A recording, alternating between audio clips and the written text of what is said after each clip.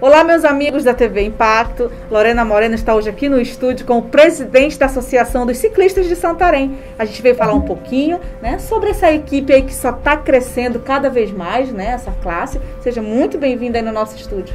Obrigado, Lorena. Prazer, uma honra estar aqui com você.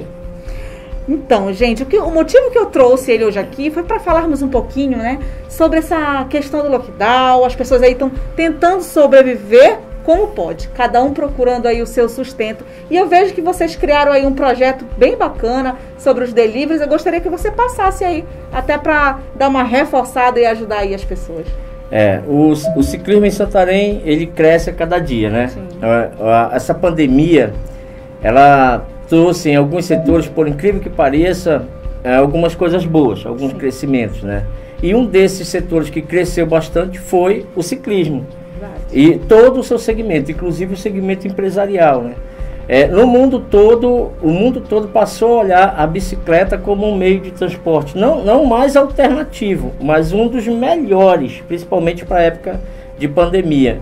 Quando você vê um grupo de, de ciclistas reunidos, a, a, própria bicicleta, a própria distância de uma e outra, ela já gera o, o distanciamento necessário social, né? Aquela distância física mesmo, assim, de no mínimo um ciclista vai estar, tá, ele vai estar tá no mínimo a um metro e meio longe do outro. Sim. Então, essa visão da bicicleta como um dos melhores transportes em época de pandemia, ela chegou em Santarém também. Nós conseguimos alcançar esse patamar aqui em Santarém. É, a associação trabalha em função dos grupos, em função dos ciclistas. E aqui tem uma informação importante: o ciclismo em Santarém ele não é só aquele grupo de ciclista que você vê na rua, pedalando arrumadinho, com roupas bonitas, com bike iluminada. Não é só isso, aqueles ciclistas que vão para o teto do chão. A grande maioria dos ciclistas em Santarém, para o qual a associação também trabalha, são aqueles que fazem da bicicleta o seu transporte principal no dia a dia.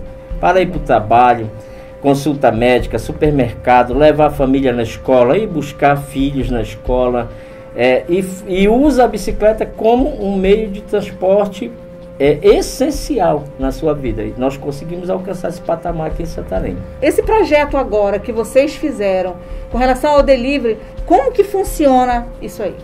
Quando, quando nós, desde que começou a pandemia, quando nós tivemos o primeiro lockdown, aí depois a flexibilização. Nós tivemos muita perda em alguns setores, né? Eu acho que um dos mais atingidos foi a economia.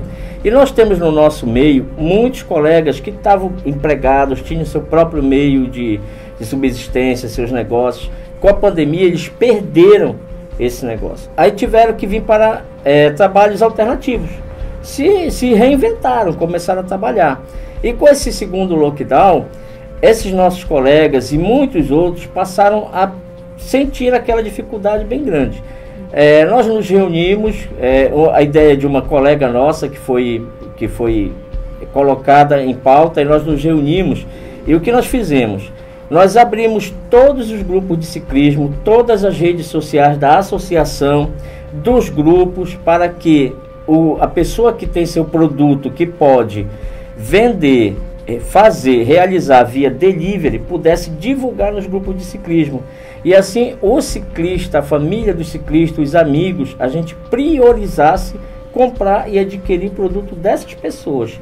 Porque você priorizando esse núcleo, você vai gerar essa economia por é pouco tempo, é poucos dias de lockdown, mas na, né, na economia pessoal é um impacto muito grande. Sim. Então, se você priorizar os colegas ciclistas que entregam produtos via delivery, esse colega, é, o seu negócio poderá fluir, né? ele poderá ter um, um, pouco mais de, de de condições de manter o negócio Sim. até que esse lockdown encerre definitivamente. Uma ajuda muito grande aí entre né, vocês mesmo. Agora me diga uma coisa, é, como que que a pessoa faz? Ela entra em contato em algum telefone? A pessoa que, que queira participar, como é que faz? Porque vocês são em uhum. média quantos? Você tem uma noção? Assim? Nós temos hoje em Santarém mais ou menos 16 grupos de ciclismo organizados. Cada grupo tem suas regras. Uma regra comum no, no, nos grupos é não ter propaganda, a não ser que ele seja específico. Sim. Propaganda de nenhum tipo de, de, de comércio. 95% dos grupos têm essa regra.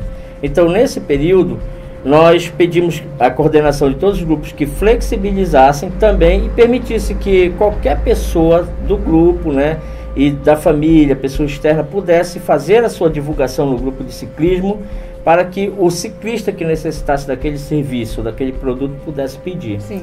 Então, é, nós criamos também um grupo próprio para isso, um grupo de WhatsApp chamado Pedala Santarém.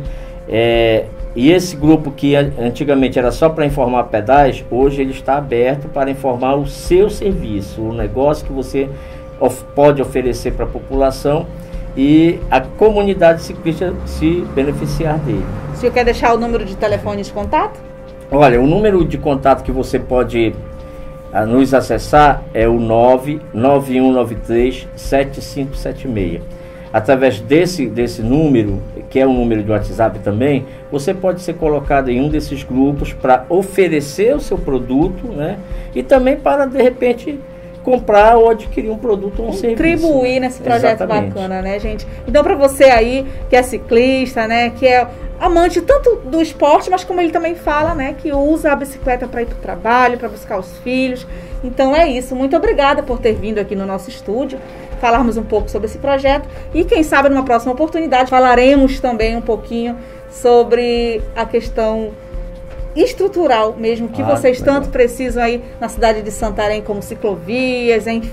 Muito tá obrigada. Bom. Nós que agradecemos, né? E desde já nós queremos colocar a Associação de Ciclistas de Santarém à disposição da população, além de, desse projeto atual que nós estamos fazendo, nós ministramos cursos para ciclistas iniciantes, que está querendo começar a pedalar agora, né?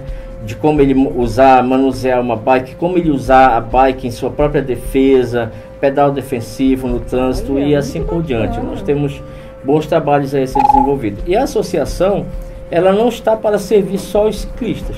Ela está para servir a comunidade em geral, dentro das nossas limitações e competências estamos à disposição de qualquer um. Ai, muito bom, gente. Então é isso. Eu espero que você tenha gostado da matéria. Você que é ciclista, que não é ciclista, mas tem vontade de entrar aí para esse grupo bacana, então me ajude a compartilhar. Muito obrigada e até a próxima.